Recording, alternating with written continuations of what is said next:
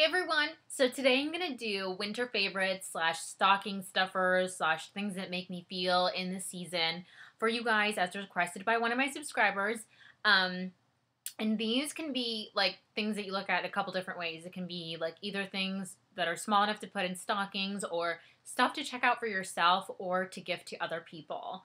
Uh, there's quite a few things to go over, so I'm just gonna go ahead and get started. Okay, so my all-time favorite perfumed lotion ever is Elizabeth Arden Green Tea Honey Drops Body Cream. And um, I totally use this year round. It smells so good that you don't even need to put perfume on. The line comes also with like a shower gel and a perfume. I totally don't recommend those. They're not as good as this cream. It's like a cream and inside it has little like honey beads. You are not going to be able to see them. But it's super luxurious, super soft, and it smells so good. So check it out. Just go buy Elizabeth Arden, smell it. Maybe they'll let you sample it. I don't know. You should just buy it. It smells that good. Okay, the next thing is I mix two perfumes that like really make me feel like in the winter mood. Um, and I feel like uh, Victoria's Secret Dream Angels Heavenly is so winter appropriate, but I actually mixed it with um I don't know how to say this, Jovan White Musk. And I got this for 14 or $15 at CVS. And I love the scent of White Musk. I just mix um, Angels, Dream Angels Heavenly, and the Jovan White Musk. And it smells so good. Like, so good. Obviously, I'm a very scent driven person for winter. And carrying on in that theme, candles. One is kind of predictable. One is pumpkin patch um, at Bath and Body Works. I know right now these are two for twenty dollars, and regularly they're twenty dollars a piece. I got them two for twenty because I think twenty dollars for a candle is a little crazy. So it smells really good. It has like the three wicks in it, and for those of you who don't know about candles, um, they have memory, so it's important that the first time you burn them, you let them burn to the outer edge, so that every time you burn them, they burn to the outer edge, and you don't waste any of the um, the wax and the scent. You get the most use out of the candle. The not so predictable one is also from Bath and Body Works. It's from the Henri Bendel collection, and it's called Firewood. And I actually have watch. I have three of these sitting in my place, and I have one at work.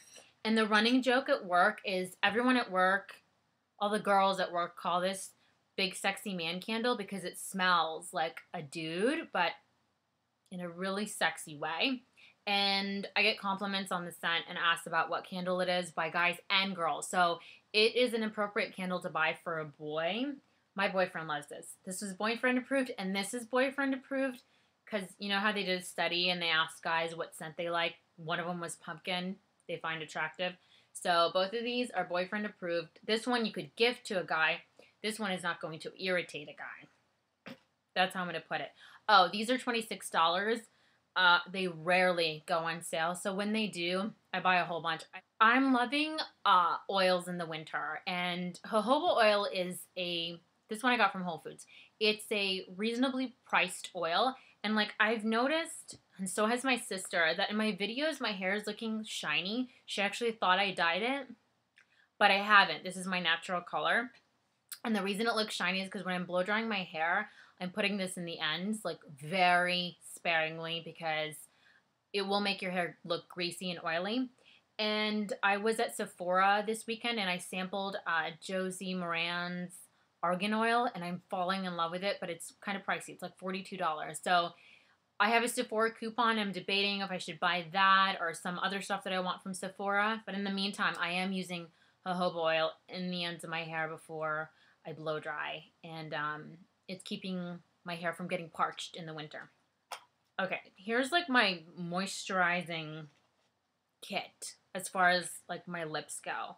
I love Aquaphor. I actually had a big tube somewhere around here, but I can't find it. Anyway, I went to the store and I got the pack of two little tubes. So I use this stuff for like everything. Like if I have a flyaway, I will put this in my hair sparingly if um my cuticles are like bugging me, I'll put this on my cuticles. I definitely use this on my lips. I also am loving rose salve, and this is um the third thing I've had of it.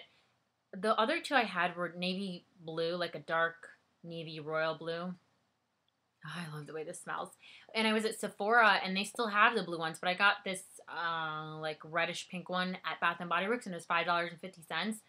And this I feel like if I put it on before I go to sleep at night, um, it like plumps my lips in the morning. I think it what it does is it's like sealing moisture in my lips, and when I wake up, it's still there. My lips don't feel dry or cracked or yucky, and they actually feel plump and like super moisturized. So I love this.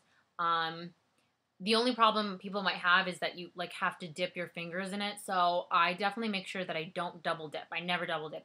If I stick a finger in there, it's going to be clean and I'm not going to like apply it to my lips and then dip my finger again. I just make sure I get enough the first time that I don't have to double dip. And then I love chapsticks, but I think that my holy grail of chapsticks right now is this cocoa butter lip balm. And you can find these at Walgreens for $1.19 and I have four or five of these. I have one on my nightstand, I have one in my purse, I have one at work, I have one in my car, and I have one in my makeup kit. I actually have a few. I have one like when I do other people's makeup and then for my makeup. So like I put it on when I'm, you know, moisturizing and priming my face and eyes and lips. Okay, so love this stuff. I can only find it at Walgreens and sometimes not even all Walgreens carry it, but cool, good stuff. Um, nail polish. I'm gonna pick two nail polishes that I think are like it for me for this season. The first one is Essie Mint Candy Apple, and I did a review about this. Um, it's an unorthodox holiday nail polish, and you can watch my review if you want to know more about that. And then the other one is what I have on now, and it's Orly in Glitz, and I wore this in my last video, and uh, I like it because gold matches with everything, but it's still super festive. And yeah, I got that at Sally Beauty Supply. Okay, so really awesome stocking stuffers and or like party candy tray. I am loving um Hershey Kisses, like the holiday flavors. I don't remember them being around any other year, so if they were around, let me know. But there's a couple of different flavors going on, but I love mint truffle. Mint truffle, which is um dark chocolate filled with mint truffle and uh, candy cane. Mint candy with stripes and candy bits. Okay, so these are good for like um, putting them in stockings or like uh, we had a holiday party at my company and uh, we just like mixed these two together. Um, this is like for chocolate lovers this is for, this has more of like the white chocolate taste. But I have to warn you, um, I'm not one of those people who can like leave candy around my house for like visitors because I eat it all. This stuff is so addictive. And look, I try to be sneaky. I put a hole in the back here because I knew I was making a video and I was going to be like, oh, I'm going to make it look like I didn't open the bag. Yeah, well, I did, okay? And I've been eating it all day and it's going to make me sick to my stomach. Same thing with this. The hole's up here. So I don't recommend you keeping these around because they are so addictive unless you have the self discipline of like a professional ninja. Um, because they look like innocent Hershey kisses, but they're like kisses of diabetic death. I've seriously eaten way too much by myself. Okay, so last but not least, how can it be a holiday season without eggnog? I used to not like eggnog when I was little. This is the first year that I've really like drank it and enjoyed it. And uh, TG Lee um, has pumpkin spice eggnog, and my boyfriend and I are loving it. It is so good, and I'm gonna go get it and show it to you because it's super festive. Hold on. Okay, so we have regular eggnog in the fridge, but we discovered pumpkin spice eggnog. TG Lee does it, um, and it's so good. So if you like eggnog and you want something with a little bit of different flavor, you'll you'll like this. Like we both have been really enjoying it this year.